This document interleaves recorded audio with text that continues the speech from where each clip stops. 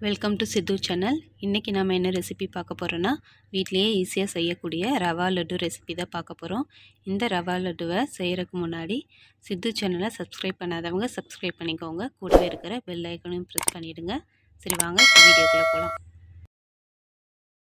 ரவா ஒரு cup sugar வந்து half cup ஏலக்காய் பால் முந்திரி நெய் அதுக்கப்புறம் உலர் திராட்சை இந்த தேவையான பொருட்கள்.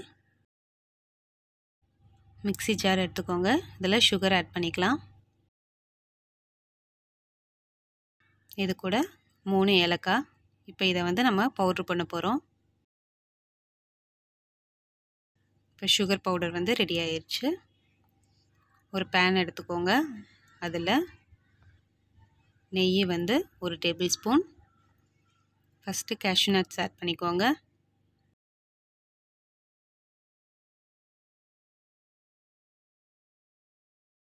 இது கோல்டன் ப்ரௌன் ஆனதுக்கப்புறமா நாம் திராட்சையை ஆட் பண்ணிடலாம்.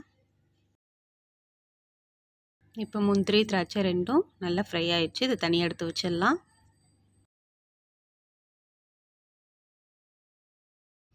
அதே பேனில் ஹாஃப் டேபிள் ஸ்பூன் நெய் ஆட் பண்ணிக்கோங்க. அடுத்ததாக ரவையை ஆட் பண்ண போகிறோம் இதை வந்து நல்லா வாசனை வர வரைக்கும் நல்லா வறுத்து எடுத்துக்கோங்க.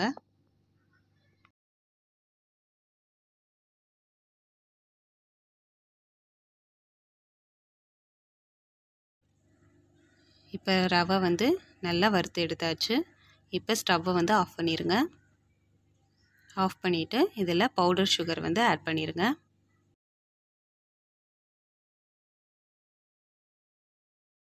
இதை நல்லா மிக்ஸ் பண்ணி விட்டுருங்க.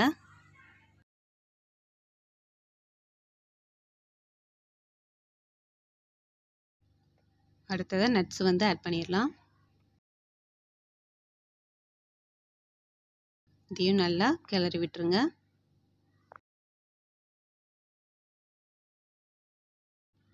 அடுத்ததாக ரெண்டு டேபிள் ஸ்பூன் மெல்டட் கீ வந்து ஆட் பண்ணிக்கலாம்.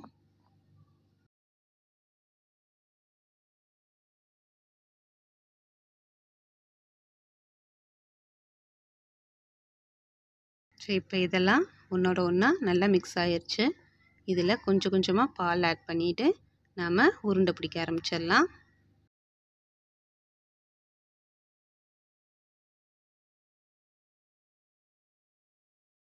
நல்லா மிக்ஸ் பண்ணியாச்சு. இந்த மாதிரி உருண்டை பிடிச்சிக்கோங்க. அவ்வளோதான். ரவா லட்டு ரெடி ஆயிடுச்சு இதே மாதிரி ஒவ்வொரு உருண்டையாக லட்டு பிடிச்சி வச்சிடலாம். இந்த ரவா லட்டுவை நீங்களும் வீட்டில் ட்ரை பண்ணி பாருங்கள் பார்த்துட்டு உங்கள் கமெண்ட்ஸ் என் கூட ஷேர் பண்ணிக்கோங்க. இந்த வீடியோ உங்களுக்கு கண்டிப்பாக பிடிச்சிருக்குன்னு நினைக்கிறேன். அப்படி பிடிச்சிருந்தேன்னா லைக் பண்ணுங்கள் ஷேர் பண்ணுங்கள் மறக்காமல் சித்து சேனலை சப்ஸ்கிரைப் பண்ணிவிடுங்க தேங்க்ஸ் ஃபார் வாட்சிங்